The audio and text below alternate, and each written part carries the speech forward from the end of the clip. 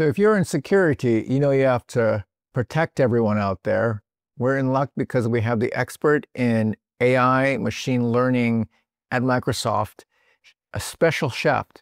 Tune in to this next episode of the Cozy AI Kitchen.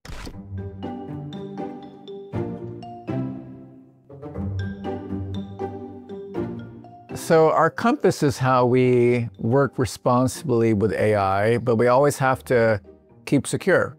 And that's why we have Chef Emmanuel Victorio visiting the kitchen. Welcome, Chef Victorio. Hi, everyone. Hi. Hello, everyone. So glad to have you here. So like, how long have you been working in security? Well, it's been, how long now? It's been about 10 years. 10 years, okay. And so like, you're doing something different with large language models. You're combining machine learning models and this new AI together.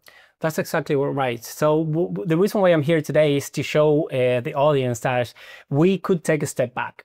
We uh, in Microsoft security, we don't jump on just trying to follow the, the you know the, the, the latest trend only and drop everything we were doing that we know of and we know works before. Yeah. We combine the two. We're trying to get the most of the two and I have a project here to show you how we do that. And I'd be glad to go through that with you. Please, uh, you take the kitchen, Chef Victorio. Okay, so I'll give you a, a, a bit intro before, right? So um, when an incident happens in, in Microsoft, um, we have all the engineers and, and every team is moving around the incident trying to, to discover what, what's going on, right? And during that process, um, findings are um, a, a, comma, right? And we're trying to understand what the problem was. And we start recording everything. So danger is coming in, right? And you're going to catch it all and understand it, right? And we're trying to understand the situation, right? You assess and measure what's going on, mm -hmm. and but the thing is, once the problem is solved and the, the cybersecurity incident is resolved, mm. we don't drop everything and move on. We go back and continue on trying to fix those problems mm. so it don't happen, they don't happen again, right? A good shield. A good shield for the next next next session.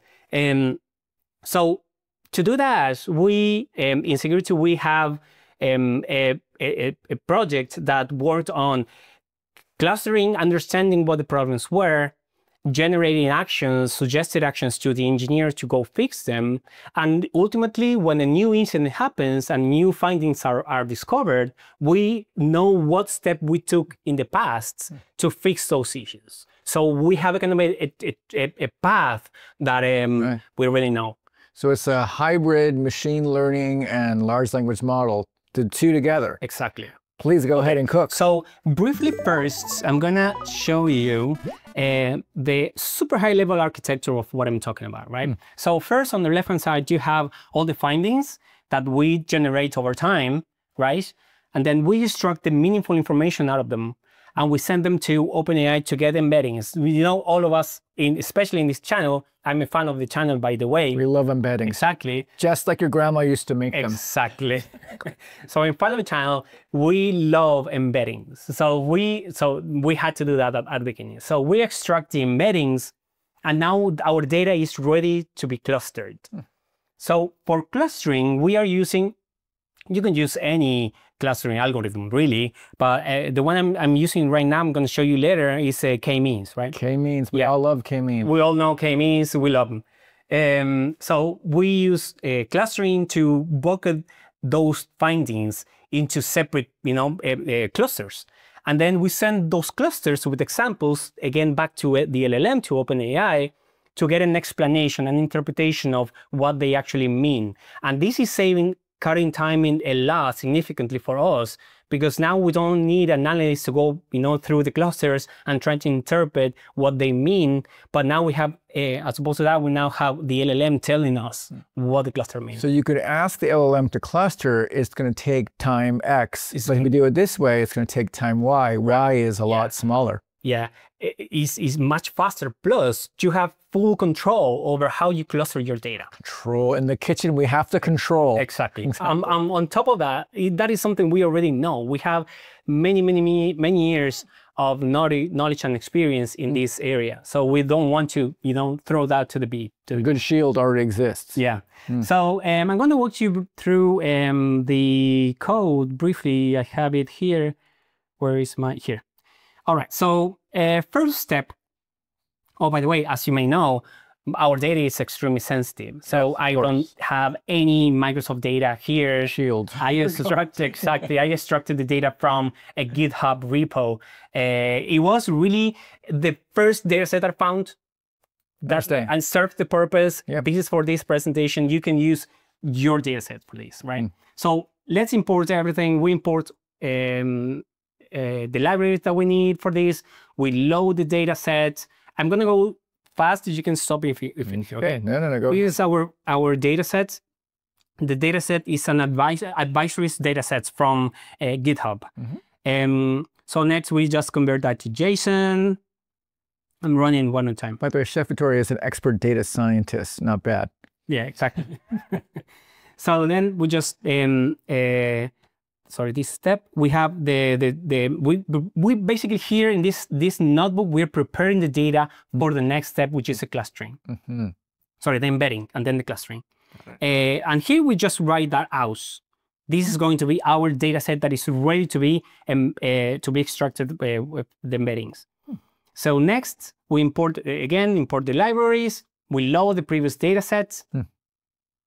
Uh, we pr- we pre-process this data just to make sure everything everything is in place, and then we generate the, the embeddings. In this case, just for simplification, I'm running a two-dimensional uh, vector.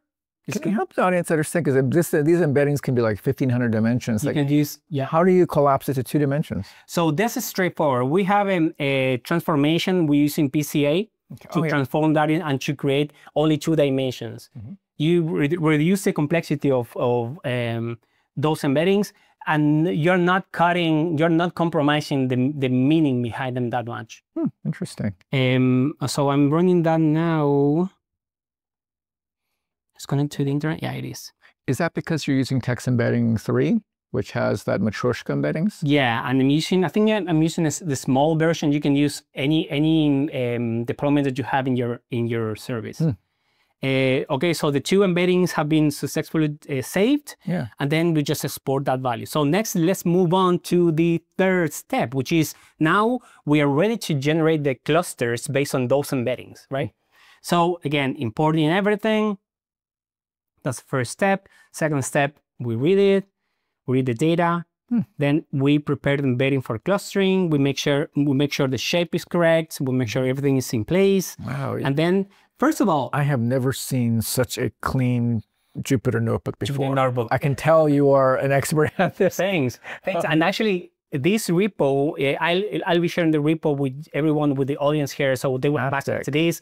The Wow. data, the data sets, everything's will be in place with a README file that it actually explains step by step how to do to run this. Delicious. Mm. So now another thing, when you create the clusters, and this is what I mentioned when before that, uh, about um, having a, um, the, full control on the clusters. Here, we can decide how many clusters we want, and we can change that. We are not, you know, um, uh, we don't have to do what the LLM says. Use this amount of clusters. We can move these things around and um, end up with the, the, the number of clusters that we're happy with. Because most people who know when you give the LLM clustering, you may say five clusters or seven. It may give you six or something. Right, right. And mm. here you have full control on that. Hmm.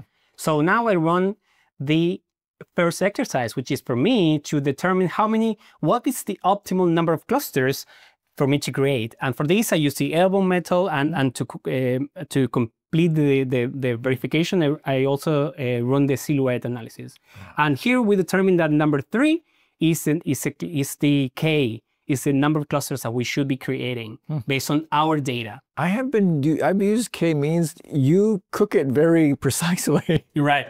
I was lucky to be honest with you. It's just the data set is, is on my. okay. Oh, okay. Um, okay, so here we know from previous steps that the optimal number of K is three. So now we create three clusters. And we can see that when this finishes, we have number uh, clusters number zero, one, and 2 And this is a distribution of them, of the items inside those clusters. And here we can visualize the clusters Here and we comes. can Right. There you go. Wow. we can set the distribution of them. Hmm. And again, this is sample data. You can use your own data and, and full control on the clustering part of it.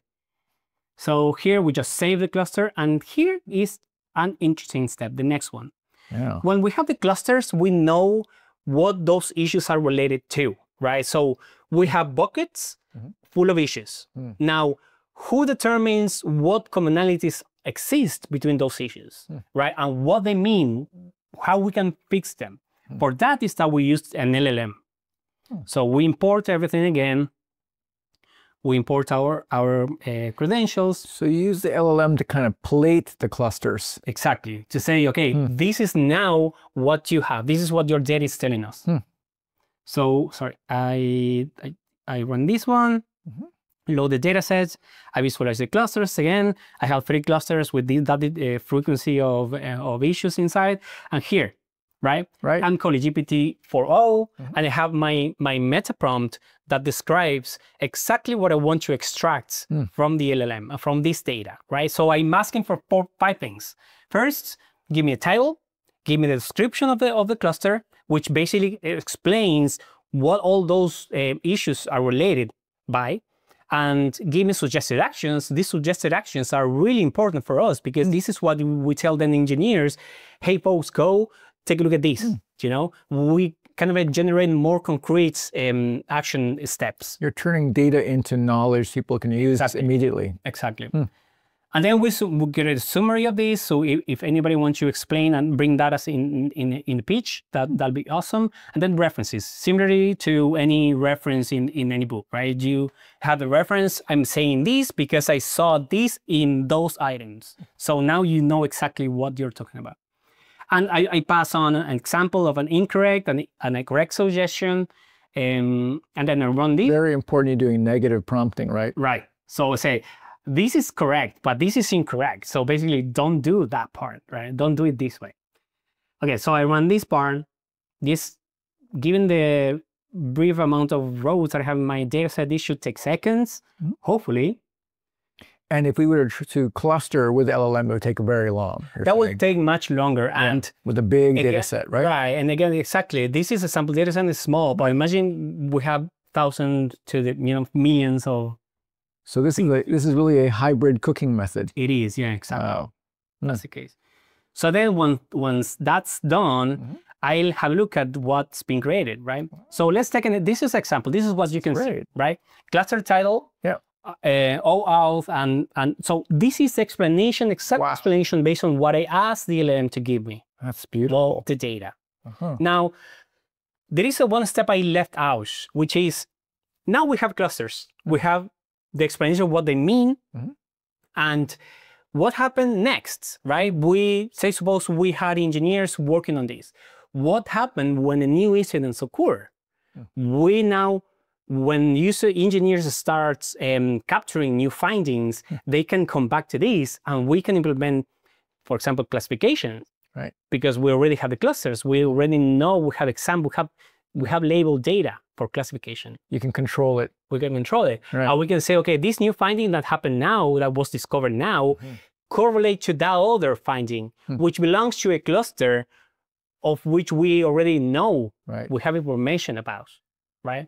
So, and if if we get to the point where new findings are cannot be uh, classified into any of these buckets, we run this process again and we create new buckets. Wow, this is really mind blowing because you're cooking the old way of machine learning, and then you're now using the new way, and you're doing like a kind of like a Asian fusion meal or something. Exactly. whatever. Exactly. That's the case. Fantastic. That's exactly the case. Well, for, for people out there who are interested in this kind of hybrid cooking method, do you have any advice for them? Because maybe some people are just stuck in regular ML, some are over LLM'd. How do you advise them in the future? Right. So first of all, folks, I would say don't get crazy about this new era of AI and think all that you learned in the past is useless now because AI is going to solve and it's going to do everything for you.